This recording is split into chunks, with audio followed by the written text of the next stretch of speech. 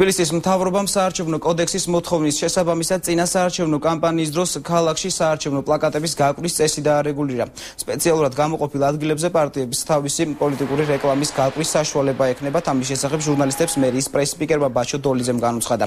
თბილისის მთავრობის მიერ განსაზღვრული შენობა ნაგებობების გარდა პლაკატების განთავსება იგრძალება ქალაქის ისტორიულ ნაწილში არსებული კულტურული მემკვიდრეობის ძეგლებზე, რეაბილიტირებულ შენობებზე, სახელმწიფო და თვითმმართველობის ორგანოების შენობებზე. გამოყოფილია სპეციალური ადგილები, სადაც სპეციალურად დამონტაჟებულ სტენდებზე ნებისმიერ პოლიტიკურ პარტიას შეიძლება თავისი საარჩევნო პლაკატების გამოყოფა და თანაბრად შესაძლებელი იქნება ამ სტენდების სარგებლობა. ასევე გარდა საკანონმდებლო აკრძალვისა, თბილისის მთავრობა მოუწოდებს ყველა პოლიტიკურ პარტიას არ გააკრას საარჩევნო პლაკატები იმ შენობებზე, ახლად რეაბილიტირებულ შენობებზე და იმ შენობებზე, რომელსაც აქვს კულტურული მემკვიდრეობის სტატუსი მინიჭებული.